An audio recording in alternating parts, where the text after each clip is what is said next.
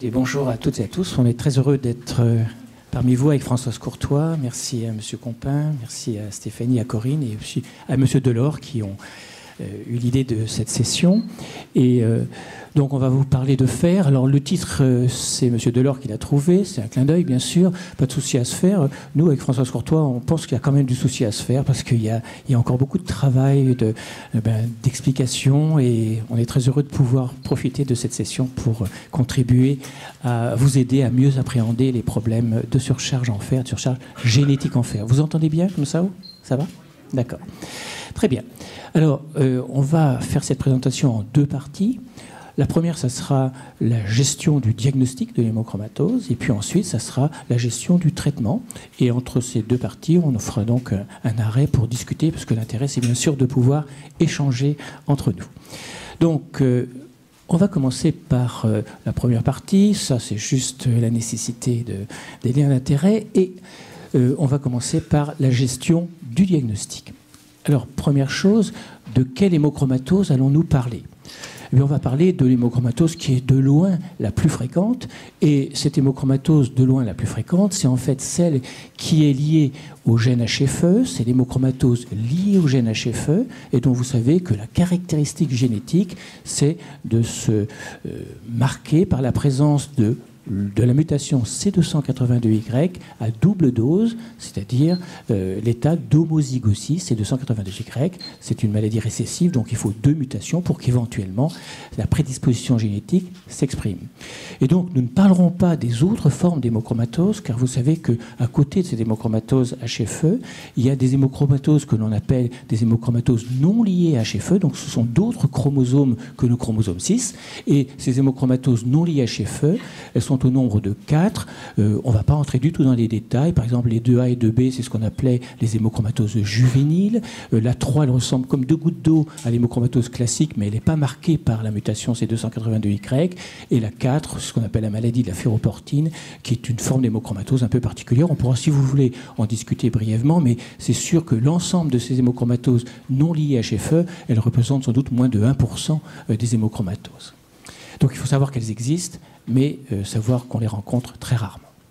Donc voilà pour le type d'hémochromatose qu'on va euh, aborder aujourd'hui. Ça sera l'hémochromatose classique liée au gène HFE. Alors deux éléments introductifs, l'un concernant un peu la fréquence et puis l'autre le mécanisme de, cette hémochromatose, car beaucoup de choses ont bougé au cours des dernières années. Alors, la fréquence, en fait, la prévalence de l'homozygosie C282Y, c'est environ 1 sur 300, ce qui est très fort pour l'homozygosie C282Y. Mais cette prévalence de la prédisposition génétique, c'est en fait la partie immergée de l'iceberg. Et si on s'attache maintenant à la prévalence de l'expression clinico-biologique de l'homozygosie, en fait, on se trouve dans des prévalences qui sont sensiblement moins importantes. Et par exemple, l'expression clinique de la vraie maladie, telle qu'on l'a apprise dans les livres, avec la cirrhose, avec le diabète, c'est euh, probablement 1 sur 1500. Si maintenant on s'attache à l'expression non pas clinique mais simplement biologique des anomalies des marqueurs du fer, eh bien on va avoir une prévalence qui est de l'ordre de 1 sur 600. Ce qui veut dire quand même que 1 sur 2 des sujets qui sont homozygotes pour C282Y vont présenter des anomalies du métabolisme du fer qui pourront justifier éventuellement d'un traitement. Donc ça nous fait quand même globalement une fréquence tout à fait particulière. Et en fait, c'est vrai, l'une des prédispositions génétiques et des maladies génétiques les plus fréquentes. Voilà pour ce petit mot de fréquence. Alors, un petit mot maintenant, avant de parler de clinique, du mécanisme, parce que beaucoup de choses ont évolué au cours des dix dernières années. On sait maintenant exactement quelle est la cascade qui va de l'anomalie mutationnelle sur le chromosome jusqu'au développement de la surcharge en fer. Vous allez voir, les choses sont maintenant assez simples. Alors, si on représente les principaux acteurs du métabolisme du fer, avec le foie, avec le tube digestif, avec la rate, avec la moelle, le compartiment sanguin et le fer qui circule dans le compartiment sanguin, eh bien, ce que l'on sait aujourd'hui euh, de cette cascade, c'est la chose suivante. Si vous prenez votre chromosome, qui est le chromosome 6, peu importe au niveau duquel vous allez avoir la mutation à double dose, homozygosie C282Y, et puis on sait que cette homozygosie, par une cascade moléculaire qui est maintenant de mieux en mieux connue, euh, va avoir une conséquence, un impact au niveau du foie. Et cet impact au niveau du foie va se situer au niveau d'une protéine qui a été découverte il y a une dizaine d'années, d'ailleurs dans notre groupe à Rennes, et qui est l'hormone de régulation du fer qui s'appelle l'hepsidine, qui est donc produite par le foie. Et l'effet de l'homozygosis et 282Y, c'est de diminuer la production de l'hepsidine par le foie. Comme c'est une hormone, cela veut dire que produite par le foie, elle va passer dans le courant sanguin. Donc quand vous avez la mutation C282Y, vous allez avoir une diminution de la synthèse hépatique de l'hepsidine qui va avoir comme conséquence une diminution de la concentration d'hepsidine dans le sang. C'est une hormone, donc on peut la doser, concentration qui est donc diminuée dans le sang. Et cette baisse d'hepsidine dans le sang va avoir une double conséquence simultanée. L'une au niveau du tube digestif, l'autre au niveau de la rate. La première conséquence de la baisse de l'hepsidine, ça va être au niveau du tube digestif d'augmenter l'absorption digestive du fer. Vous savez que tout le fer de l'alimentation, tout le fer du corps vient uniquement de l'alimentation. Donc, il va y avoir une hyperabsorption digestive de fer, qui est bien connue dans l'hémochromatose depuis très longtemps. On ne savait pas d'où ça venait. Ça vient de la baisse d'hepsidine. Donc, ça va contribuer à augmenter le taux de fer dans le sang. Et la deuxième conséquence de la baisse de l'hepsidine, elle va se situer au niveau de la rate. En fait, la rate a un rôle, vous savez, très important dans le métabolisme du fer, puisque c'est là que viennent mourir les globules rouges après leurs 120 jours de vie. C'est ce qu'on appelle l'érythrophagocytose. Et donc, il va y avoir beaucoup de fer qui va se déposer dans la rate. Les globules rouges se détruisent, mais le fer métal va rester. Et vous savez que ce fer va être normalement recyclé dans l'organisme pour retourner à la moelle. Eh bien, quand vous avez une baisse d'hepsidine, vous allez avoir également une augmentation de la sortie de ce fer qui provient de la dégradation des globules rouges au niveau du plasma. Donc vous voyez, la conséquence de l'hypohepsidinémie, elle-même conséquence de la mutation à double dose, va être une baisse de l'hepsidine dans le sang, qui d'une part augmente l'absorption digestive de fer, d'autre part augmente la libération du fer à partir de la rate, la conséquence globale étant une augmentation chronique et importante du taux de fer dans le sang. Alors quel va être le devenir de cette hypersidérémie qui est donc la marque vraiment de fabrique de l'hémochromatosique Eh bien, une part de ce fer, comme il est attendu physiologiquement, puisque c'est un métal, il ne peut pas être transporté comme ça dans le sang. Vous savez bien qu'il y a une protéine de transport, et cette protéine de transport s'appelle la transférine. Donc une part de ce fer dans le sang va être comme physiologiquement attendu, pris en charge par la transférine.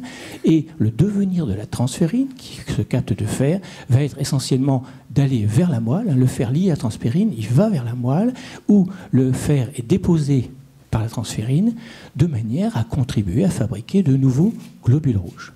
Donc, une part du métabolisme du fer se fait normalement. Mais il y a tellement de fer dans l'hémochromatose qu'il n'y a pas suffisamment de transférine.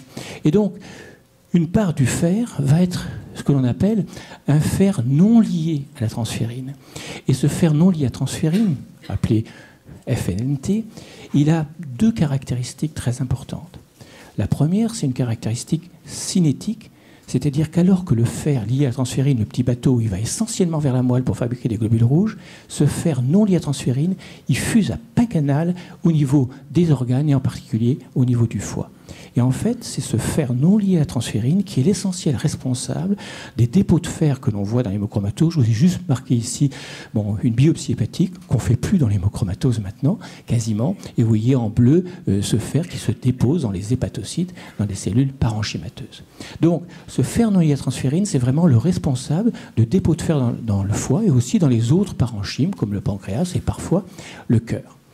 La deuxième caractéristique de ce fer non lié à la transférine, c'est qu'en fait, euh, une partie de ce fer peut exercer une toxicité au niveau des cellules, donc au niveau des tissus et des organes. Et on admet que c'est cette toxicité du fer non lié à la transférine qui est à l'origine ben, des dommages hépatiques, pancréatiques, euh, cardiaques éventuels. Voilà pour les éléments un peu de base, un peu mécanistiques si vous voulez. À côté de la haute prévalence, et bien en fait maintenant on a toutes ces séquences que l'on connaît bien. Mutation, baisse de synthèse d'hepsidine par le foie, baisse de concentration d'hepsidine dans le, dans le sérum, qui va entraîner une augmentation d'absorption du fer et une augmentation de la libération du fer à partir de la rate, créant une hypersidérémie qui déborde les capacités de fixation de la transférine, crée cette forme nouvelle de fer qui est le fer non lié à transférine, fer non lié à transférine qui fuse dans les, dans les organes et explique finalement la surcharge en fer et explique aussi euh, la toxicité potentielle du fer au niveau euh, des organes. Ayant vu cela, on va pouvoir maintenant euh, passer plus à la clinique et aborder les signes cliniques et biologiques qui doivent faire évoquer la maladie, l'hémochromatose. il faut bien voir que les choses ont beaucoup changé. On a tous appris dans les livres que l'hémochromatose, c'était la triade classique décrite par les, auteurs français, vous savez, Trousseau, Troisier, etc., qui était la cirrhose bronzée avec diabète. En fait, en tant que médecin généraliste, il faut bien voir que tout ça a beaucoup changé. On peut encore bien sûr rencontrer ces grandes complications, mais de moins en moins. Et euh, il faut être attentif à des signes qui sont extrêmement disparates et qui font d'ailleurs errer le diagnostic et sont une cause souvent de retard, voire euh, d'ignorance du diagnostic. Donc, on va voir ensemble quels sont les principaux signes d'appel finalement auxquels que l'on doit avoir en esprit et qui doivent faire évoquer la possibilité d'une surcharge en fer et notamment d'une hémochromatose. Si on prend les signes cliniques ou les syndromes cliniques, il y en a finalement deux, peut-être trois, euh, qu'il faut avoir en, présence à l'esprit en premier. Mais avant ça, euh, avant de voir les, les signes qui s'expriment vraiment, je voudrais vous montrer deux choses. L'expression de l'hémochromatose, c'est ceci, c'est-à-dire rien du tout pendant 30 ans voire 40 ans. Et ça, c'est une des grandes particularités de cette maladie génétique, c'est que bien sûr, l'anomalie génétique existe à la naissance, mais que l'expression va se faire que de façon différée. C'est une maladie à retardement. Ce ne sont pas les enfants qu'on voit au téléthon, ce sont vraiment des adultes jeunes. Donc c'est une maladie qui s'exprime cliniquement euh, chez l'adulte jeune, euh, alors que bien sûr, la prédisposition et la surcharge en fer commencent à se faire dès la naissance, mais ça se fait de façon très mesurée, très minime, jour après jour, l'accumulation se fait dans l'organisme. Donc, ce qu'il faut savoir, c'est qu'on a une énorme boîte noire dans cette maladie pour le clinicien qui va durer 25, 30, 40 ans. Et donc, euh, on n'a pas de moyen de faire diagnostic de l'hémochromatose si on ne va pas la rechercher systématiquement. Ça, c'est une notion importante. La deuxième notion, c'est que euh, pour faire ou évoquer le diagnostic d'hémochromatose, eh bien, il faut avoir un profil de ce type, c'est-à-dire il faut être caucasien, euh, c'est une maladie des blancs, il n'y a pas d'hémochromatose, en tout cas l'hémochromatose habituelle, hein, dont, on parle aujourd'hui chez les sujets noirs, chez les asiatiques. Donc, euh, deuxième élément, on va évoquer ce diagnostic essentiellement euh, dans cette situation ethnique. Alors maintenant, on peut passer vraiment, quand la maladie s'exprime, quels sont les signes auxquels il faut faire particulièrement attention cette image, c'est juste pour vous montrer la fatigue. Fatigue qui peut être physique, morale ou sexuelle. Et j'en dirai pas plus parce que Françoise, tout à l'heure, vous dira l'expérience qu'elle a pu recueillir au niveau des médecins généralistes, justement, euh, de, sur les particularités de cette asthénie. Signe d'appel très important. Évidemment, l'asthénie chronique, rien de plus banal. Mais euh, quand on en a pas fait le tour étiologique autrement, il faut toujours avoir une petite idée sur la possibilité d'une surcharge en fer.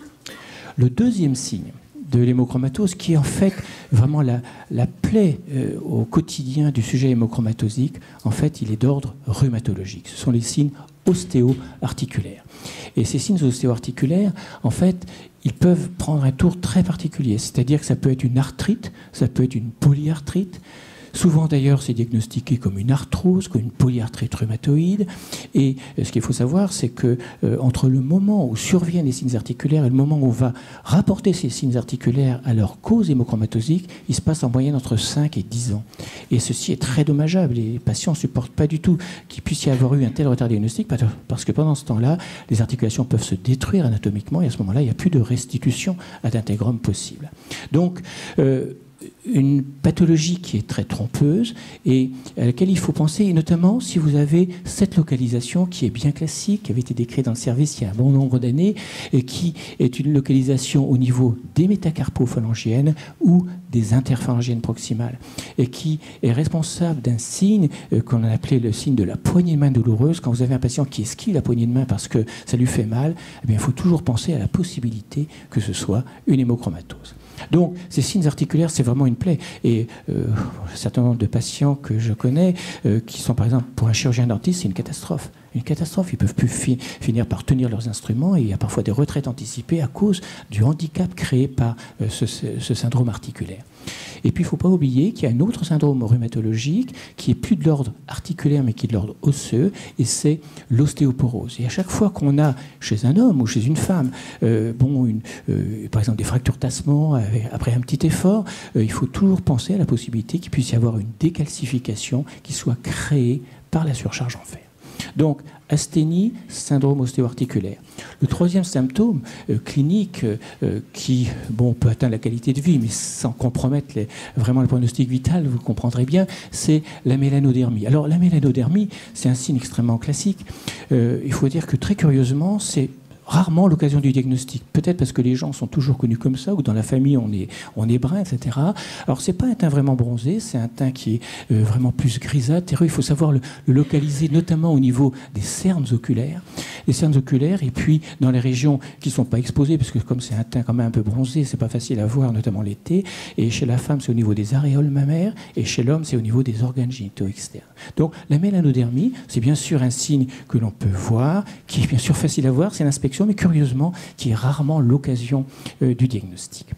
Donc là, entre l'asthénie, les signes ostéo-articulaires, l'hyperpigmentation, on a finalement ces signes cliniques un peu de base qui affectent la qualité de vie, mais qui ne compromet pas le pronostic vital. Et puis après, vous avez trois syndromes qui sont des signes vraiment complications de la maladie. Je ne vous étonnerai pas en vous disant que le foie, bien sûr, est un organe cible. Vous avez bien vu tout à l'heure que ce fer non lié à transférine, eh bien, il fusait en premier lieu par le système porte essentiellement au niveau du foie. Donc le foie, c'est à la fois une éponge du fer pendant des années, et c'est pour ça que pendant 20 ou 30 ans, euh, il ne se produit pas de maladie clinique parce que, au fond, le, foie fait rempart.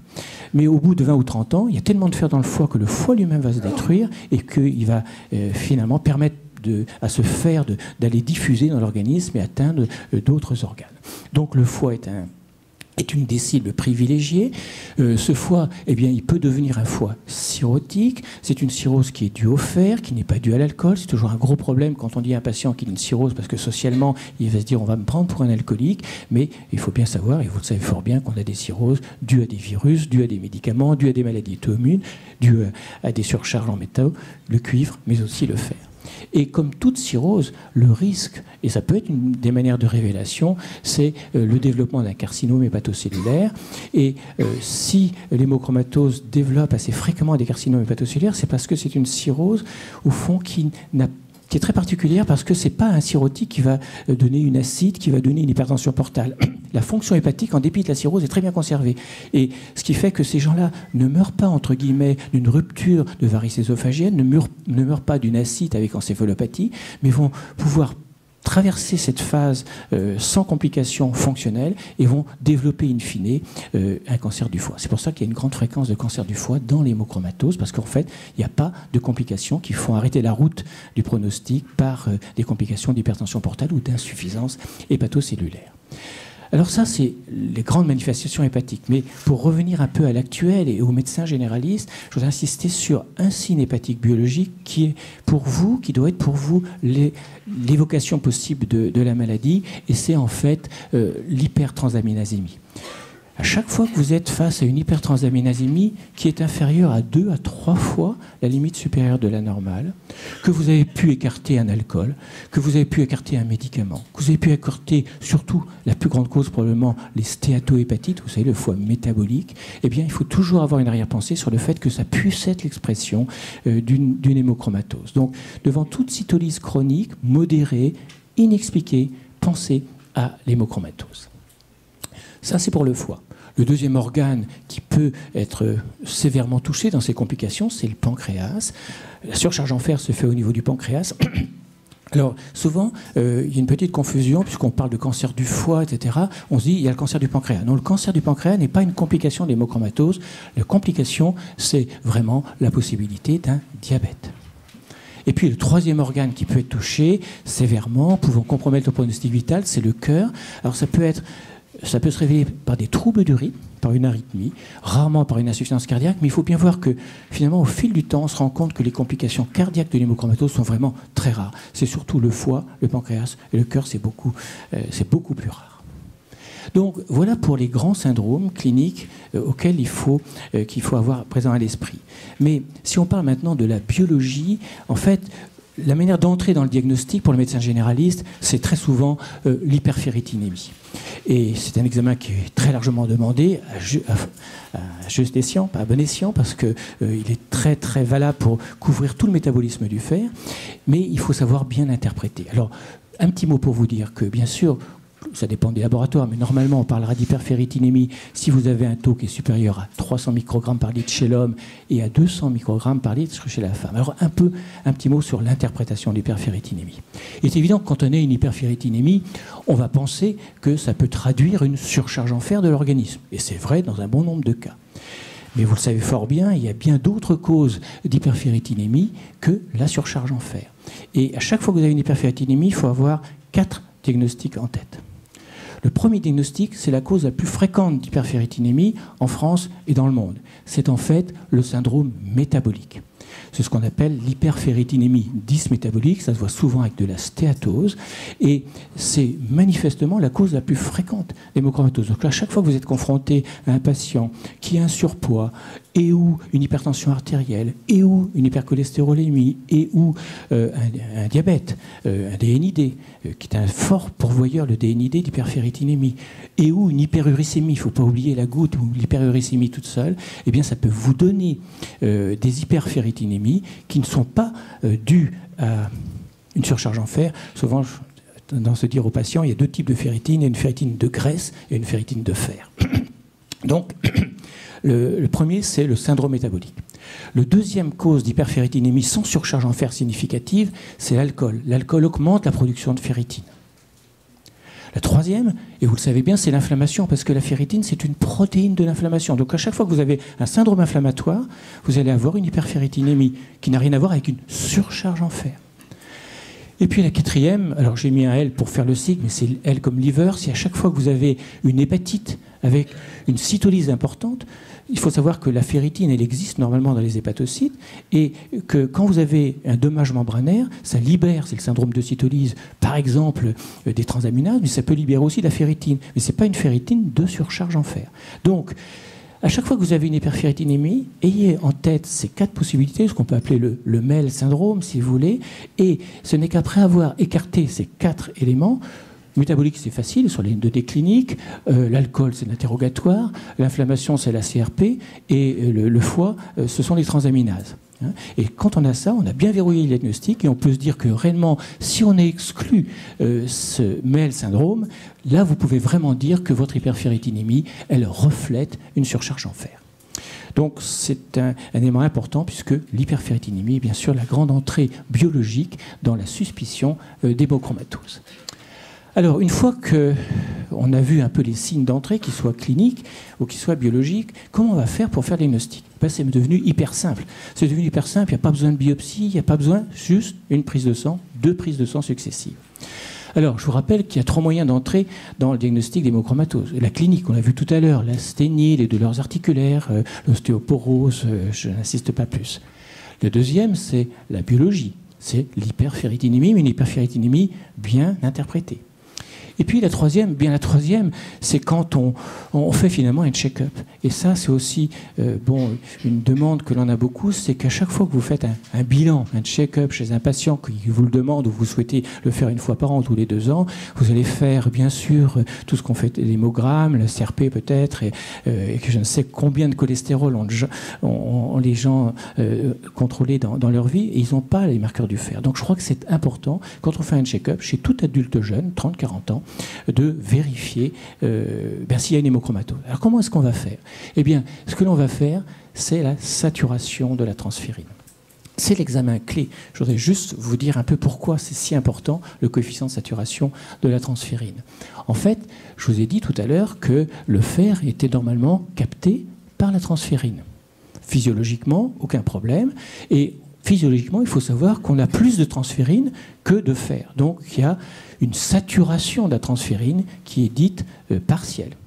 Et on peut aussi représenter la transférine non pas comme un petit bateau, mais plutôt comme une péniche, puisqu'on est près de la Seine. Et donc, la transférine, c'est une péniche qui transporte du fer. Ce fer, il vient pour une part de l'intestin, c'est l'absorption digestive de fer, et pour une autre part, on l'a vu, il vient de la rate, c'est la libération du fer qui vient de l'érythrophagocytose. Eh bien, il faut savoir que cette péniche, elle est normalement que partiellement remplie de fer dans ses cales, et on dit que la saturation de la transférine est normalement, disons, inférieure à 45%. Donc, quand on demande un coefficient de saturation à transférine, on, cherche à savoir quel est le degré de saturation de cette péniche de transport du fer dans le plasma, et on va avoir deux possibilités. Première possibilité, la saturation à transférine est inférieure à 45%. C'est fini, votre diagnostic, il n'y a pas d'hémochromatose. Vous pouvez écarter une hémochromatose sur une saturation à transférine normale. Il ne faut pas aller plus loin. Il ne faut pas demander de test génétique. Deuxième élément, la saturation est augmentée. D'abord, première chose, il est important de vérifier euh, une deuxième fois parce que c'est un paramètre qui est quand même un peu fluctuant. Donc, il est bon, avant de se lancer dans des examens complémentaires, de confirmer que vous avez une élévation de la saturation. Et vous allez demander cette fois-ci la mutation C282Y qui ne peut être demandée que si vous avez une élévation de la saturation. Et là, vous allez avoir trois cas de figure. Vous demandez la mutation C282Y, tous les laboratoires le font, il y a éventuellement des prestataires, bien sûr, pour le faire, soit à l'hôpital, soit dans le privé, et vous allez avoir trois cas de figure. Premièrement, il n'y a pas de mutation C282Y, bon, c'est simple, il n'y a pas d'hémochromatose. Deuxièmement, et ça c'était une notion importante, vous avez la mutation, mais elle simple, hétérozygosie C282Y, c'est la même chose. Vous ne pouvez pas faire le diagnostic d'hémochromatose sur une simple hétérozygosie. C'est une maladie récessive, il vous faut deux exemplaires pour éventuellement euh, retenir le diagnostic d'hémochromatose. Donc, troisième situation, vous avez vraiment C282Y, C282Y, le sujet est homozygote, il a reçu une mutation du père, une mutation de la mère, et il est donc susceptible là d'avoir une hémochromatose. Donc le diagnostic d'hémochromatose aujourd'hui, il repose sur une suspicion clinique bien menée, parfois un dépistage systématique, bilan à 30-40 ans, et puis saturation, saturation normale, on ne va pas plus loin, saturation élevée, on demande la mutation. Et on ne s'attache qu'à l'homozygosie C282Y. On n'est jamais hémochromatosique, clinique, quand on a une simple hétérozygosie C282Y. Alors, on a fait notre diagnostic, il est fait. Maintenant, comment on va gérer euh, la suite? Eh bien, cette euh, gestion de la suite, elle va se faire en deux étapes. Vous allez tout d'abord essayer d'évaluer l'intensité de votre excès en fer. Vous savez qu'il y a une hémochromatose, il faut savoir quel est le degré de la surcharge en fer. Et ensuite, vous allez euh, évaluer quel est le retentissement viscéral de cette surcharge en fer. Et puis, c'est la prise en compte combinée de l'intensité de la surcharge en fer et du retentissement viscéral qui va vous permettre de grader euh, votre hémochromatose euh, en, les stades que l'on va voir brièvement euh, tout à l'heure. Alors un tout petit mot sur chacun de ces étapes et tout d'abord comment chez un hémochromatosique homozygote C282Y, saturation élevée, on va apprécier l'intensité de la surcharge en fer. Mais ici encore, les choses ont beaucoup bougé. Avant, il fallait faire une biopsie hépatique. Maintenant, on ne fait plus de biopsie hépatique et on va se baser sur un test biologique, à nouveau la biologie, et puis sur l'imagerie. Alors, le test biologique, eh bien, ça va être la ferritine. Et euh, le test d'imagerie, ça sera bien sûr l'IRM, mais l'IRM fer. Alors un petit mot sur chacun de ces éléments. Tout d'abord, la ferritine. Je ne reviens pas sur le fait que c'est du ferritine dont on a écarté les, causes de faux positifs, hein, le, métabolique, l'alcool, l'inflammation. Euh, et on est donc dans une situation où elle reflète la surcharge en fer. La ferritine, c'est la protéine de stockage du fer. La transférine, c'est le petit bateau, c'est le transport du fer. La ferritine, c'est une coquille d'œuf dans laquelle se met le fer à l'intérieur des cellules, euh, en particulier du foie, mais d'autres organes.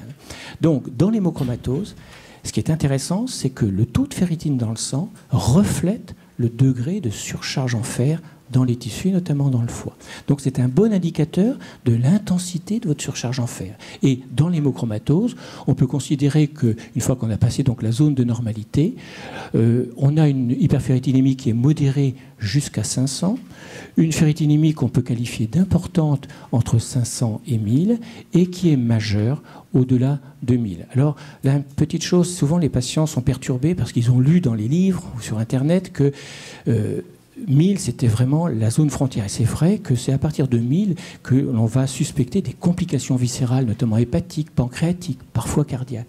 Mais il n'y a pas simplement la notion de l'intensité, il y a aussi une notion de chronicité à prendre en compte. C'est-à-dire que si vous faites un diagnostic tôt euh, chez quelqu'un qui a 1000, euh, qui a par exemple 30 ans, c'est différent que chez quelqu'un qui a 1000 euh, depuis déjà 15 ou 20 ans, à 40 ou 50 ans. Donc il n'y a pas simplement l'intensité en valeur absolue, aussi la chronicité et la prolongation qu'il faut prendre en compte. Donc c'est pas parce qu'on a 1000 de qu'on a obligatoirement une cirrhose euh, euh, et avec un cancer du foie ou, un diabète, ce qui est parfois la crainte des patients parce qu'ils interprètent euh, ce qui n'a sans doute pas été trop bien écrit sur la, valeur. Mais 1000, c'est quand même une valeur frontière à partir de laquelle on a la possibilité de complications viscérales. Donc on fait une ferritine et le taux de ferritine va vous indiquer quelle est l'intensité de la surcharge en fer. Et puis, le deuxième élément, c'est qu'il peut être important, peut-être pas toujours, on pourra en discuter, de faire une IRM fer.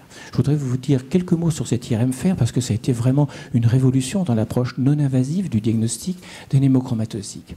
Alors, c'est, c'est une IRM qui peut se faire sur n'importe quel équipement, donc tout radiologue peut la faire, il faut vous demander une IRM faire, et n'importe quel radiologue peut, à partir d'un logiciel qui a été produit par Rennes, par Yves Gandon, qui est gratuit, euh, conclure à la charge hépatique en fer, euh, à la surcharge hépatique en fer. Comment ça marche? Eh bien, ça marche de la manière suivante. Vous avez ici une, une IRM et vous voyez qu'il y a un certain signal, le foie est blanc, on est en T2, le foie est blanc, et la base de la technique est de comparer ce signal au contrôle qui est le muscle paravertébral, le muscle spinal. Et vous voyez qu'ici, c'est la même chose. Physiologiquement, c'est du blanc et du blanc. C'est normal. Lorsque vous avez une surcharge en fer, problème de choses magnétiques, vous allez avoir un abaissement du signal, c'est-à-dire que le foie va devenir de plus en plus sombre, et il sera d'autant plus sombre que la surcharge en fer sera importante. Il y a une bonne corrélation entre le degré d'assombrissement du foie et le degré de surcharge en fer. Et quand vous allez avoir une surcharge massive, eh bien vous aurez un aspect comme ça, un foie noir. Donc un foie noir, c'est une surcharge massive par rapport au muscle paravertébral qui reste toujours un muscle blanc. C'est le témoin ça, c'était la notion importante, c'est que l'IRM vous permet de visualiser la surcharge en fer au niveau du foie et permet de la quantifier. Mais il y a maintenant un nouveau concept dans l'utilisation de l'IRM qui est la suivante. C'est qu'il ne faut pas simplement se focaliser sur le foie, mais ne pas oublier cet autre organe dont on a vu qu'il était important et qui est la rate. Oui, ici, c'est une rate qui est normalement chargée en fer, elle est blanche. Eh bien, vous allez avoir deux types de profils en IRM. Le premier type de profil, vous avez un foie noir, plein de fer, et une rate blanche. Pas de surcharge en fer. Ça, c'est typiquement ce que vous allez voir dans l'hémochromatose classique qu'on est en train de voir. Pourquoi Je vous rappelle que dans l'hémochromatose, la surcharge en fer due à ce fer non lié qui fuse dans les hépatocytes, va être essentiellement hépatique dans un premier temps. Et la rate, au contraire, vous vous rappelez, elle se vide de son fer. Il y a une baisse d'epsidine qui augmente la libération du fer à partir de la rate, euh, ce fer provenant d'érythrophagocytose. Et donc, euh, une hémochromatose classique, c'est un foie noir et c'est une rate blanche. Et ça s'oppose à l'autre profil dans le domaine du diagnostic de surcharge en fer qui est ceci. Vous avez ici un foie noir, plein de foie, plein de fer, et une rate noire pleine de fer. Et ça, c'est typiquement ce que vous allez voir dans les surcharges en fer transfusionnelles. Vous savez bien que dans les maladies comme bon, les thalassémies, euh, euh, mais surtout chez nous, euh, les syndromes myélodysplasiques, hein, ces gens qui ont besoin de transfusion à partir de 60-70 ans, d'abord tous les mois, puis tous les 15 jours, etc., et qui vont développer des syndromes de surcharge en fer importants. D'ailleurs, je vous rappelle qu'on ne doit plus dire hémochromatose secondaire. Hein, il y a l'hémochromatose, c'est vraiment les maladies génétiques. Autrement, on est dans des surcharges acquises, mais le terme d'hémochromatose secondaire, il doit disparaître. Eh bien, dans ces surcharges-là, vous allez avoir une surcharge qui sera d'abord euh, splénique, puisque quand vous transfusez, vous donnez des globules rouges qui sont très riches en fer, et ces globules rouges, eh bien, en fait, ils vont suivre la voie normale et aller là où meurent les globules rouges, c'est-à-dire dans la rate. Donc la surcharge transfusionnelle, c'est une surcharge qui est d'abord splénique et ensuite hépatique. Et donc ce type d'aspect de, rate noire riche en fer et de foie noir riche en fer, c'est essentiellement la surcharge transfusionnelle. Donc vous voyez que ce qui est intéressant, c'est que l'IRM fer, non seulement elle affirme, elle quantifie la surcharge en fer, mais en fait en montrant la balance de distribution de la surcharge en fer entre d'une part le foie, d'autre part la rate, elle vous donne un indice finalement sur l'étiologie, sur la physiopathologie de la surcharge en fer. Ce que vous voyez ici, dans l'hémochromatose, cette distribution, ça traduit l'hypoepsidinémie qui augmente le fer dans les hépatocytes et, libère le fer à partir de la rate. Ça, c'était le premier élément qui était donc l'intensité de la surcharge en fer par le degré d'hyperferritinémie et puis, si on peut le faire, par l'IRM fer. Une fois qu'on a fait ce diagnostic, on veut savoir quand même eh bien, quel est le bilan de, ce patient. Est-ce qu'il a euh, des complications de cette, surcharge en fer? Et là, le retentissement, il est très simple. Il a été défini il y a quelques années par euh, euh, la, HS, la HS. Et donc, on va passer en revue et vous allez voir que c'est finalement très peu d'examens pour faire un bon bilan de surcharge en fer. Et ce que je veux vous dire, c'est que le médecin généraliste, il a un rôle essentiel, non seulement dans l'évocation de première ligne de l'hémochromatose, et c'est pas facile, vous l'avez vu, parce que c'est très disparate, il peut aller facilement au diagnostic d'hémochromatose par la saturation suivie de la mutation, si la saturation est élevée. Il peut demander une IRM fer, il n'y a aucun problème, et il peut gérer, générer aussi le, bilan, euh, conduire le bilan du retentissement viscéral. Ça ne veut pas dire qu'on ne peut pas se faire aider, bien sûr, par des spécialistes, mais ce que je souhaite surtout vous dire, c'est que finalement, vous avez une pleine autonomie pour aller quasiment de bout en bout du diagnostic dans une hémochromatose. Ce retentissement viral, il est simple. Le foie, alors je vous parle bien sûr pas de la clinique, mais pour les plus jeunes qui sont là, je vous rappelle qu'il faut d'abord être clinicien et après on fait les examens. Donc pour le foie, on fait un bon examen clinique, on regarde s'il y a un gros foie, mais dans les examens euh, complémentaires, on fera des transaminases. On a vu pourquoi? Parce que l'hémochromatose, ça peut se traduire par une petite élévation des transaminases, puis on fera une échographie pour voir si on a une suspicion éventuellement de fibrose. Pour le pancréas, c'est très simple, on fera une glycémie. Pour les gonades, chez l'homme, on fera une testostéronémie. Pour l'os, eh bien, on fera une densitométrie osseuse facilement, et notamment chez l'homme également. Ça servira au moins de jalon pour l'évolution, s'il n'y a pas d'anomalie au départ. Et puis pour le cœur, eh bien, on fera un ECG, on fera surtout une échocardiographie. Donc vous avez là le bilan euh, d'un hémochromatosique, le bilan type, vous voyez, euh, prise de sang, échographie du cœur du foie, prise de sang pour le pancréas, prise de sang pour les gonades et une densitométrie osseuse.